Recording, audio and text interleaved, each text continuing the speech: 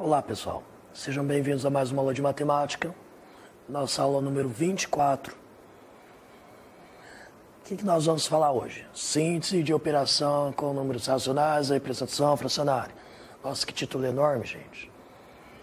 Bom, mas é a vida. Bom, o que, que é síntese? Um pequeno resumo, tá? Bom, nas últimas aulas estudamos como são as operações? Com frações, adição, subtração, multiplicação e divisão. Nessa aula, a gente vai retomar todas elas para deixar, talvez não esteja mais fresquinho na memória. Então é sempre bom a gente estar tá retomando isso. É um tema importante. Vocês vão ver para o resto da vida. E não é difícil, apesar que o pessoal fala, nossa, vai fazer, ai, professor, cheio de fração isso aqui. Nossa, está muito difícil isso aqui, né? Não é difícil, gente. É tudo uma questão de tranquilidade, de prestar atenção, ok? E só. É tranquilidade, gente, tranquilidade. Bom, retomando a adição e subtração. Lembra, só pode se adicionar ou subtrair pedaços do mesmo tamanho, ok? Por quê?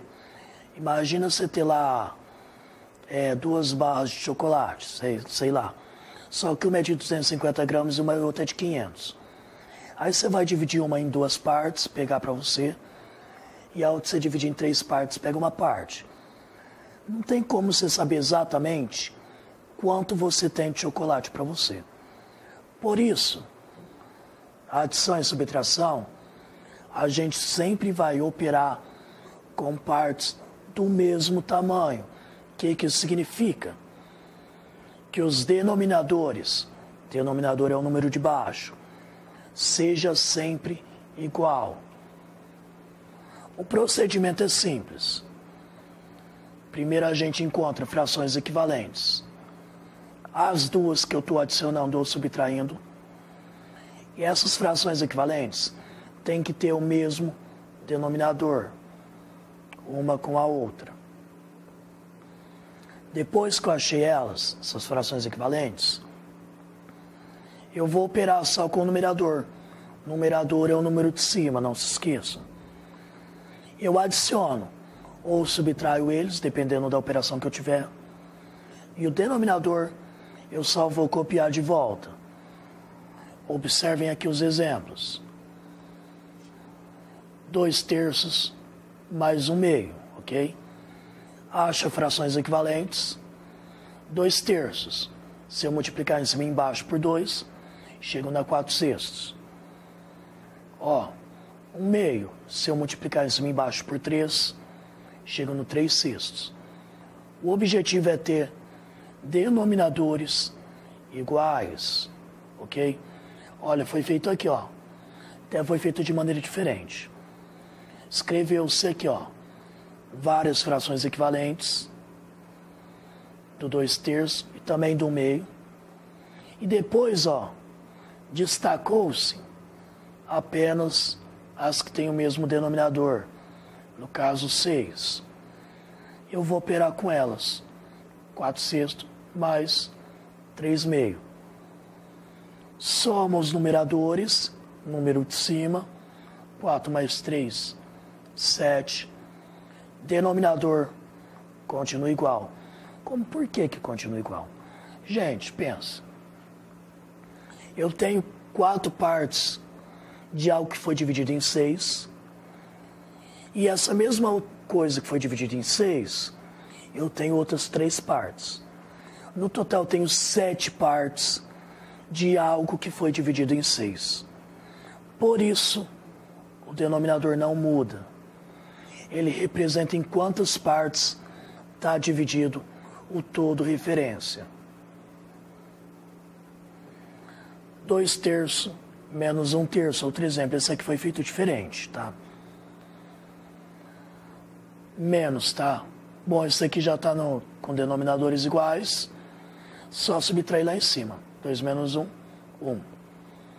Denominador mantém igual. 6 quinto menos 2 quartos. Ó, uma dica.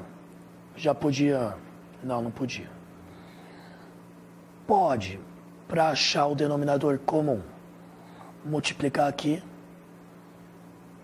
Quando os números são pequenos, isso aqui é muito tranquilo. E simplifica no final. 5 vezes 4, 20. Aí faz aquele processo lá, ó, 20. Divide por 5, 4. 4 vezes 6, 24. 20 dividido por 4, 5. 5 vezes 2, 10. Aí eu vou operar apenas com os numeradores. 24 menos 10, 14. Denominador mantém, porque ele só representa em quantas partes está dividido. Se der para simplificar, simplifica. Dá para dividir por 2 em cima e embaixo. 14 dividido por 2, 7. 20 por 2, 10. Ok? Adição e subtração. Mesma coisa. Acha um denominador comum e opera com os numeradores. Multiplicação. Mais fácil de todos, né, gente? A multiplicação é feita de forma direta. Numerador vezes numerador, denominador vezes denominador. Vamos lá para a multiplicação. Ó. Olha que bonitinho. 2 terços vezes 5 quintos. É, multiplica em cima. 2 vezes 5. 10. Multiplico de baixo. 3 vezes 15. 45. Se dá para simplificar, pode simplificar. Aqui nos casos, no caso, 10 e 45 são múltiplos de 5. Divide por ele. 10 dividido por 5, 2. 45 dividido por 5, 9. Simples, muito simples. Uh, nosso terceiro caso, no segundo caso. Uma vez 8. Vou multiplicar em cima e embaixo. 1 quarto vezes 8 nonos. Uma vez 8, 8. 4 vezes 9, 36. Dá para simplificar? Simplifica. Outra coisa importante que vai estar aqui nos outros exemplos. Isso aqui a gente já foi fazendo direto. Dá para simplificar por 4, portanto. 8 dividido por 4, 2. 36 dividido por 4, 9. Bom, na aula de multiplicação, a segunda aula, se eu não me engano, eu comentei dois métodos de fazer a multiplicação. Faz tudo direto, simplifica no final, ou simplifica antes de multiplicar, tá? Bom, ambos os casos vai dar o mesmo resultado. Na multiplicação, quase sempre, vai dar para simplificar em algum momento, quase sempre, tá? Bom, para simplificar antes de multiplicar, como ficaria? 2 terços vezes 3 quintos. Só pode ser feito isso na multiplicação, tá? Só na multiplicação. Se eu tiver, primeiramente, números iguais, só que um está em cima, outro está embaixo, não importa se um está numa fração, outro está em outra, tá? O que importa é, um está em cima, o outro está embaixo. Coloquei a barrinha aqui, ó. Tem um para cima e um para baixo, pode cortar os dois. Simplifico, dá um. Daí fica como? Duas vezes um. Aliás, dois sobre um vezes um quinto. Duas vezes um, dois. Uma vez cinco, cinco. Ou, no caso do terceiro aqui, tanto faz se eles tiverem dois, três, quatro frações. Para simplificar, um tem que estar em cima, outro tem que estar embaixo. Ah, mais um está na primeira fração, o outro está lá na décima. Não tem importância. Um em cima, o outro embaixo. Se eu tiver múltiplos do mesmo número, como é o caso, 10 e 5 são múltiplos de 5. 5 divide por 5 dá 1, 10 divide por 5, 2. Ok? Tenho aqui também ó, 3 e 6. Se eu simplificar por 3, vou ter 3 dividido por 3, 1. 6 dividido por 3, 2. 6 e 9. Posso simplificar o 6 por 3 e o 9 também por 3. 6 dividido por 3, 2. 9 por 3, 3. Depois de simplificar, as minhas frações vão ficar assim, ó. 2 sobre 1, 2 sobre 1, 2 sobre 3. Só multiplicar. 2 vezes 2, 4. 4 vezes 2, 8. Uma vez 1, 1. Uma vez 3, 3. Bom, multiplicação é isso. Não é difícil? Pode. Ah, eu não dou conta de simplificar, não sei, achei muito complicado. Ah, fica esse monte de risco aqui, eu fico me perdendo. Então, faz direto a multiplicação, simplificação no final. Vai dar a mesma coisa. Vamos para a divisão, nossa querida divisão.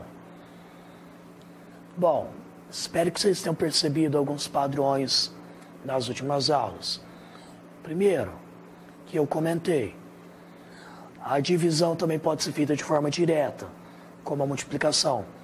Porém, nem sempre vai dar uma coisa bonitinha, ok? Vai dar fração com fração, fração de fração. E a gente quer uma fração simples.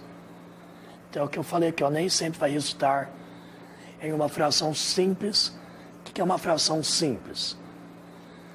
Numerador natural, ops, inteiro. Denominador natural ou inteiro. Isso é uma fração simples. Ah, esqueceu o que é inteiro. Número inteiro que não é quebrado, que não é decimal, que não é fração, ok? Então, como que a gente faz a divisão de frações? Para a gente evitar esse problema, a gente escreve as frações com denominadores iguais, como achando frações equivalentes, que o denominador serão o mesmo nas duas. E a gente divide só os numeradores, ok? Processo semelhante à adição e subtração. Bom, então vamos lá, divisão um meio dividido por dois quintos. É, tá certo. Uma dica que eu passei nas últimas aulas. É, multiplica aqui os denominadores. 2 vezes 5, 10. Então eu vou ter o mesmo denominador para as duas. Depois, a mesma operação que eu fiz do 2 para virar 10, eu tenho que fazer com 1 para ele se tornar nesse número aqui. Bom, o método que a gente fala, os professores, todo mundo acostuma falar, é pega o 10 aqui, divide pelo de baixo, o resultado multiplica pelo de cima. 10 dividido por 2, 5. 5 vezes 1, 5. 10 dividido por 5, 2. 2 vezes 2, 4. Ok. Denominadores iguais. Esquece o denominador. Divide os numeradores. 5 dividido por 4. Se não dá divisão exata, põe em forma de fração. O de lá primeiro, de cá embaixo. Que a gente chama dividendo em cima, divisor embaixo. Bom, meio dividido por um terço, Mesma coisa. Multiplica os denominadores. 2 vezes 3, 6. Então lá, 6 dividido por 2, 3. 3 vezes 1, 3. 6 dividido por 3, 2. Vezes 1, 2. Esquece os denominadores. Divide os numeradores. 3 dividido por 2, 3 sobre 2. Último exemplo. 3 dividido por 4. Aliás, desculpa. Multiplica o 3 com 4. 3 vezes 4, 12. Aí 12. Divide pelo de baixo. 12 dividido por 3. 4. 4 vezes 1, 4. 12 dividido por 4, 3. 3 vezes 3, 9. Esquece os numeradores. Divide Desculpa, esquece os denominadores, divide os numeradores. 4 dividido por 9, 4 sobre 9. Bom, nas últimas aulas de divisão, eu falei para vocês tentarem identificar um padrão entre as frações que estão sendo divididas e o resultado final. Nesse daqui, ó, fica bem claro o que, que acontece. Será que vocês perceberam o que aconteceu? Aqui nem tanto, né? Deixa eu ver. Não, até que sim. E aí? Será, gente? Bom, pessoal, pensa nisso. Mas, para quem já percebeu, bom, não vou, não vou. Vamos por partes. Ano que vem vocês vão aprender o que eu estou pensando. Ok? Gente, esse é o procedimento. Acha denominadores iguais, divide os numeradores. Não é difícil. É simples. Só prestar atenção. Não tem mistério. Bom, muita gente tem dificuldade em frações, gente. Mas não é complicado. Revisem essa aula depois. É, revisem as outras aulas com alguma dúvida, consulta o tutor. Troque a ideia entre vocês, aí, os coleguinhas de classe. Ah, às vezes alguém percebeu uma coisa, outro não percebeu. Às vezes alguém é, percebeu uma maneira mais fácil, ou uma maneira mais fácil de entender. Então é importante isso, pessoal. É, essa foi a nossa aula de hoje. Espero que vocês tenham entendido, gente. Dúvidas? Consulta o tutor, não tenham vergonha, ok? E até a nossa próxima aula.